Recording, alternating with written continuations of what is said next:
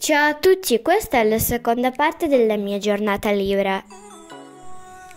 Mi sono cambiata e sono andata a fare una passeggiata con Leo, poi gli ho asciugato le zampe e poi ho anche accelerato.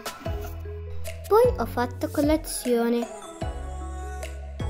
Poi ho studiato la mia battuta perché avremo un teatro a scuola.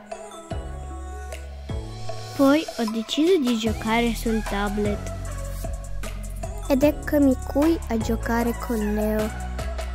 Ho scattato questa foto per caso, ma è bellissima. E poi sono andata a fare una passeggiata al parco con la mia famiglia e così si è conclusa la mia giornata. Ciao e buonanotte a tutti. Ascoltate questi suoni.